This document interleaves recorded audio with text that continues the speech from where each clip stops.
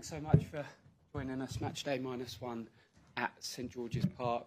Um, we'll structure this in a couple of different ways. We'll take questions from the room, and then we do have a number of German media um, joining us virtually, so we'll take some questions at the end uh, from our friends from Germany. But Anton, we'll begin with you. Morning, both. Nice to see you. Um, look, obviously we saw training on Tuesday, various players at various sort of stages of their sort of recovery. I'm just wondering how the squad is going into this game. Uh, the squad is good. Um, we have two players that are not available for tomorrow. Uh, that's Fran. So we'll be. Um, she has been assessed. She's not ready for Friday. We're trying to get her ready for Tuesday. Um, and Lotte. Lotte's doing really well. She's fully in training, but that has to do with the concussion protocol. Um, with Fran, obviously it's not the first time you've been in this position. How disappointed are you for her, and sort of how many minutes for England does she need to kind of because there's so much competition in that midfield position? Yeah, yeah. First of all, of course, she wants to be available so badly, and um, she moved clubs. She has played four, four games now in a row. Uh, and she, yeah, and then unfortunately now she has a, it's not a big injury, but uh, she, she she will not be be available tomorrow.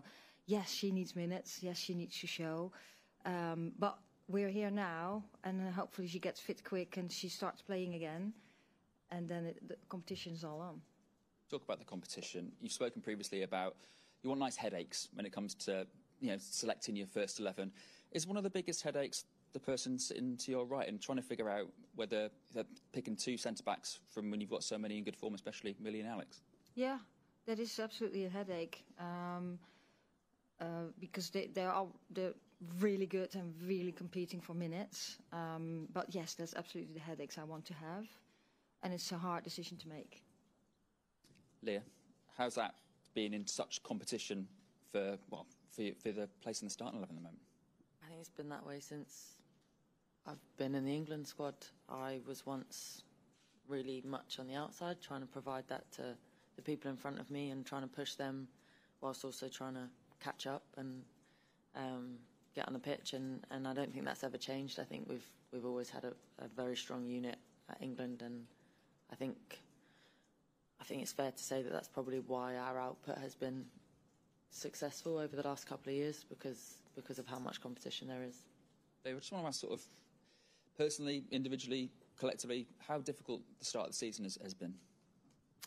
Uh, it's it's been a different uh, start of the season. We've obviously been at club for a long time. Normally, we'd have an international window before this, so it's been uh, different in that sense of being being there for so long and being in one place. We're not used to that, uh, but I think um, results tell a story, but I think uh, the work that I've seen going on, especially from from uh, my club, I can only speak for that. I think you can see again that the level of the whole world of football's gone up, and, everyone's enjoying that challenge. And, and things change every year, but this is a Euros year now, and everyone's focused on. Everyone will have a, a plan for the weekend and a plan for the next year, and I think that's you'll see that sort of iron out over over the next couple of months. I know you're talking from an England perspective, but obviously it's been exceptionally well. It's, it must have been difficult Arsenal this season, considering yeah. obviously you know form and obviously with the owners leaving as well. So just what's that been like, sort of you know, as an Arsenal player? Yes, um, I'm a footballer. There's our job is to win games, and that hasn't happened so smoothly. Like I said, results tell a story. Performance is another thing that you can actually change and affect on a day-to-day basis, and to be honest, I'm I'm happy to be here in a different environment. I think sometimes that comes at the right time, and I'm. Uh, yeah, since I've been here, I've had no contact with, with club, and it is quite easy to separate in that regard. How much are you looking forward to, in that case, just getting some minutes in a different environment, potentially, with England this time around? Yeah, um, well, that's the playing for your country. Everyone plays for a club, so they can play for the country. So to be here in this environment is uh, refreshing, obviously. It would be natural for that to be the case at this time. Uh, and uh, playing with this team, everyone knows how much we all love it. That's, I think you see that every day from us. So, yeah, I'm no different to that. Thanks, Anton. We'll go across to Emma. Morning, both. Uh, Morning. Yeah, Sarina, just to start with you, obviously this is a repeat of the Euro 2022 final. Um, I can imagine that bring back, brings back lots of nice memories for you. Yes, of course. Um, we always cherish that. Uh, that was uh, one of the biggest moments in my uh, career, in my life. but now is now. Um, we're moving forward. This is a total different team. Uh, we are with a different team because we moved on too, um, and it's the start uh, into the next Euros next summer.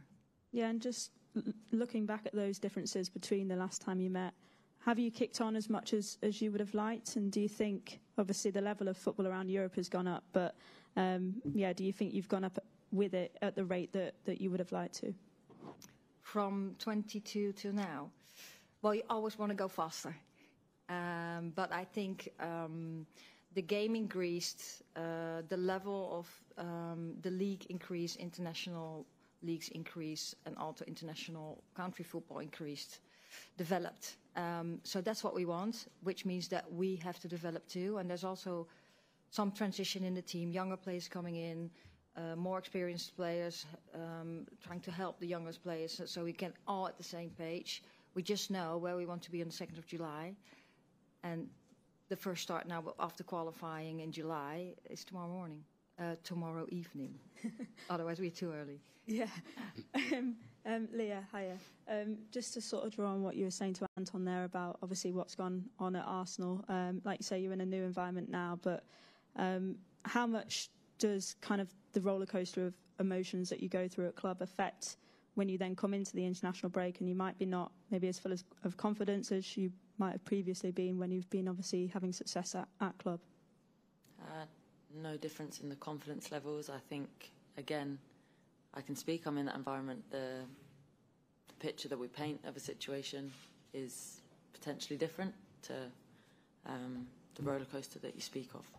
Um, so we're all footballers. We've all been through many, many different scenarios, and now we're here with England, which is um, has been a consistent environment at least for the last couple of years. So it's it's nice to be back, and like I say, it's been a long time away.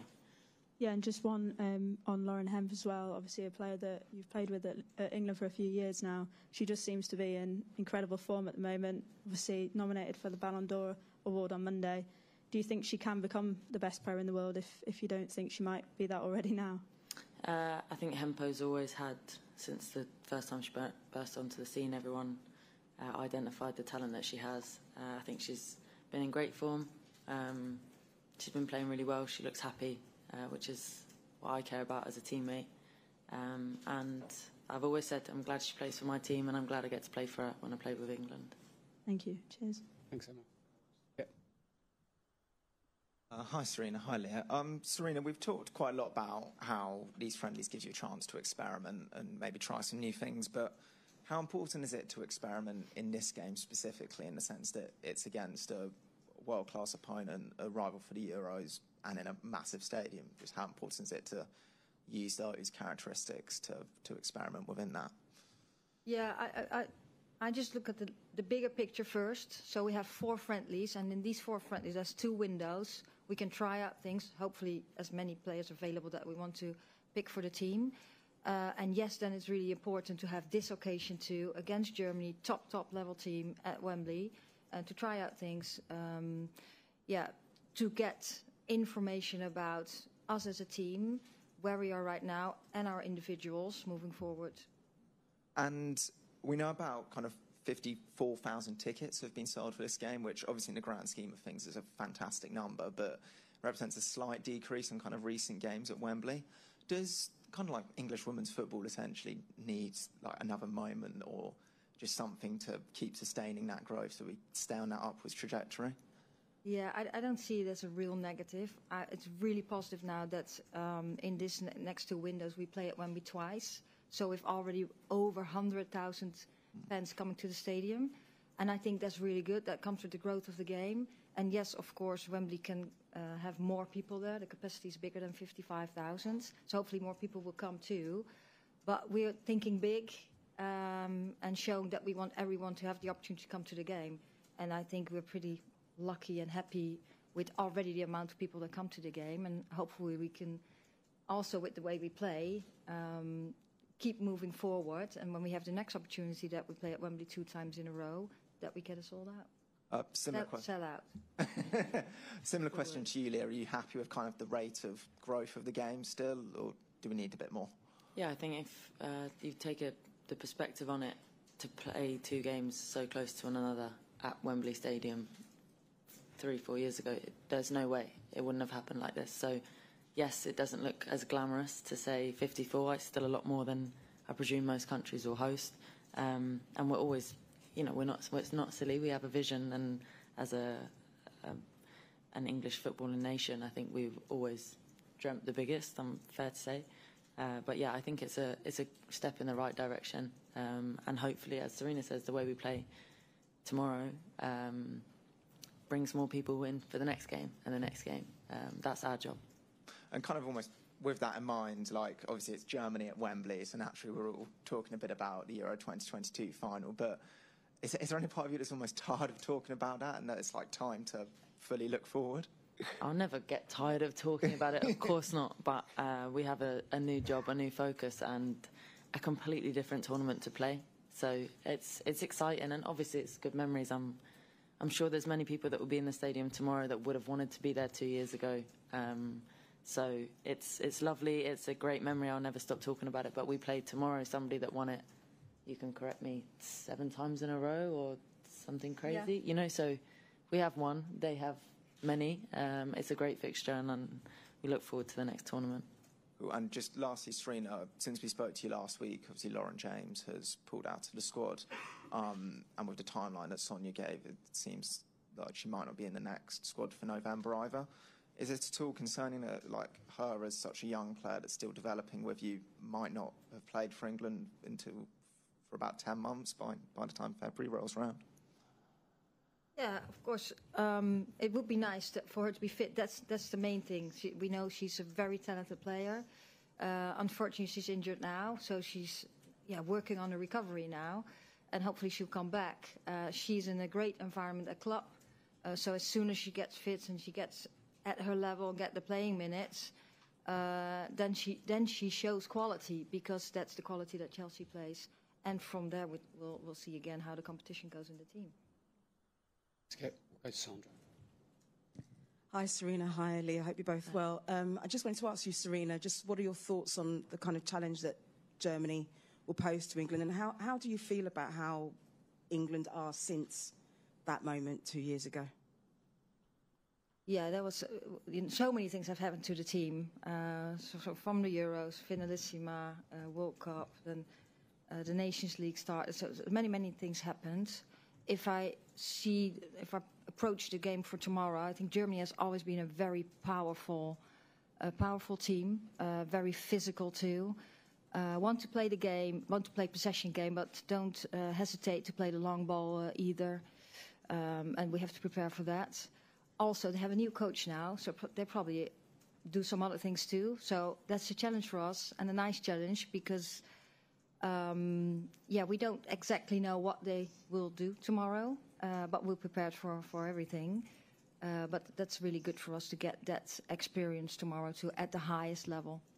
And for you, I mean, to be starting the, your kind of build up to trying to retain the Euros title with them in particular, I mean, and, and also obviously the South Africa next week. I mean, what, what you, why those opponents in particular? Yeah, we want to play the highest level opponents because that shows exactly what we're doing well and what we have to do better.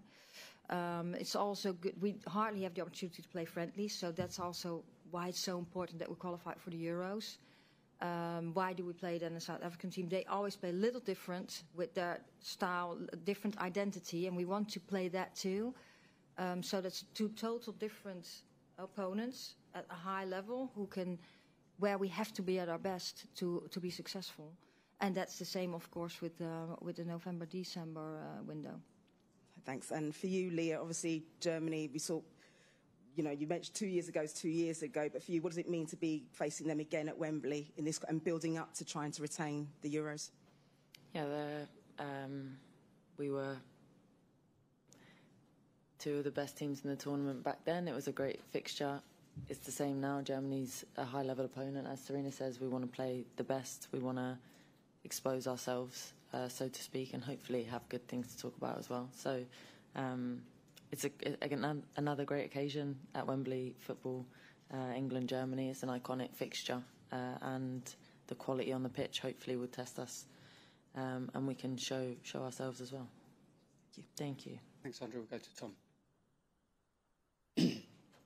Uh, good morning, both. Thank you for your time. Um, Georgia Stanway was joking that she was going to be busy in the team meeting, Sarina, Did you have lots of questions for her about the Germany squad? Yeah, we had some conversations. So uh, she's an expert.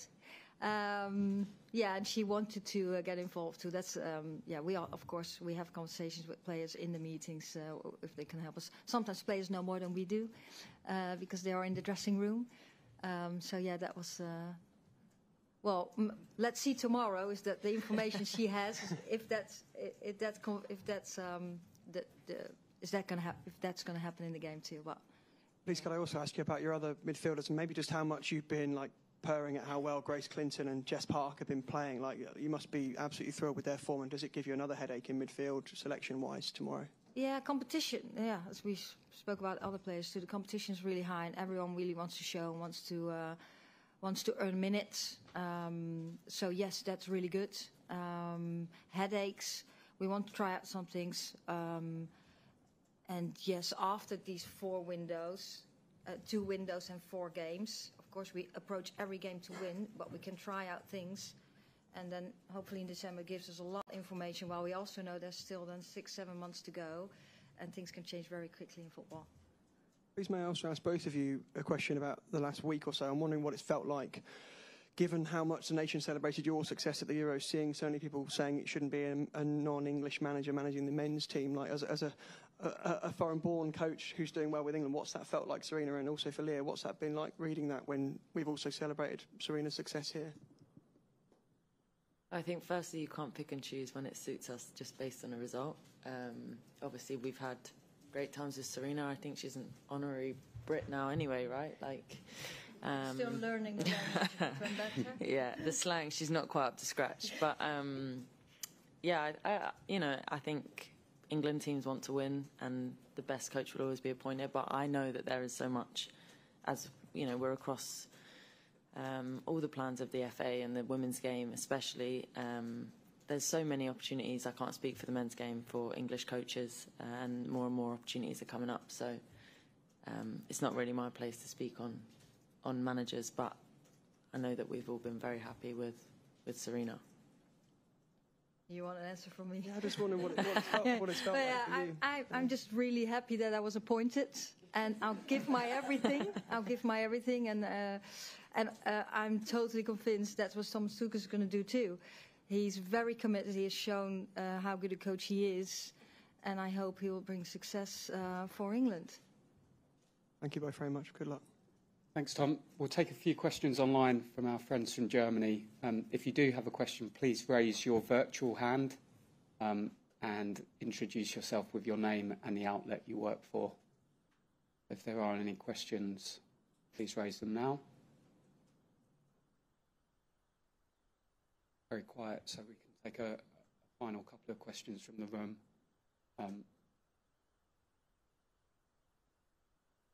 um, Georgia was saying, you know, she's been tattooing yeah. She was just saying that if all goes according you win, that she likes to have a queue of players outside her door waiting to get tats done. So would you, would you get a tat done if, if you're able to? I'd say I know Georgia probably one of the best in the squad, and uh, I still don't know if I'd let her do it to me. Um, but I have seen her work, and it's pretty impressive. So um, who knows? Who knows? I'm sure she would have a queue. Thanks, Sandra. We do now have a question um, from Christopher. So, Christopher, if you take yourself off, off mute and introduce yourself with your name and your outlet, that'd be great. Hi, hello. I was a little too slow. Thank you for talking to us. Uh, it's Christopher Klein, ARD German Television and Radio. I have a question for Serena. I'm not sure is it possible to get uh, a few thoughts on German or in German on the German squad from you? But uh, in German, besides the yeah, in German, besides the besides the language uh, topic, I just want in general to know or to get something to know about your view on the German squad, given what you already said. New manager, new players, and the last uh, picture is uh, two years away now. What what has changed in your opinion on the German squad? Yeah, I think uh, if you don't mind us, I'll answer in English or Dutch if you prefer that. But my German oh, is not no good chance. enough. no, um, the thought, yeah, a new coach. Uh, we know uh, of the coach that he worked for for over 10 years for the for the federation. uh, was very successful in the pathway for, for the boys. Um, so we actually we, we know a lot about German, but we do think they might change a couple of things for tomorrow night. So that's what we're preparing for, that we can adapt very quickly in what they do. Um, and, and yeah, just the things I just said. Germany has always been a very powerful team, very physical, high levels, want to play possession game, but don't hesitate to, to play the long ball too, uh, with players that have dribble really, um, really fast. Um, yeah, and all, yeah. So for us, we have to be at our top level to, um, yeah, to, to be successful. And that's we expect that tomorrow too. It's just the shape and some. They probably do some tweak some things, but they haven't played uh, after the Olympics with uh, with the new coach. So we'll see tomorrow.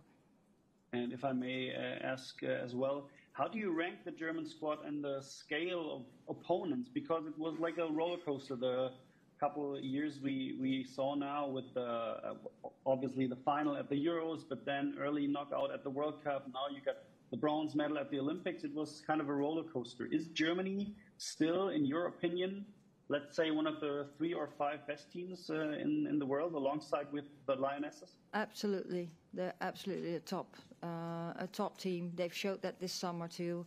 It, it also shows when you look over time that of course it's never ever take for granted that um, that you're at top level. It's hard to to come there. It's hard to stay there, and the path never goes this way in development. Um, and, and I think the game is uh, developing so quickly. Other countries are developing quickly. Uh, competitions are developing. What I just said. Also, introduction of the Nations League. It's hard. It's tough. You have to show up every single day, every single game, uh, and they're really back on it. I think. Uh, that's what they've showed this summer too. So absolutely a top level team. Thank you. Thanks, Christopher, and thanks to you all. We'll see many of you at Wembley tomorrow. Thanks. Thank you.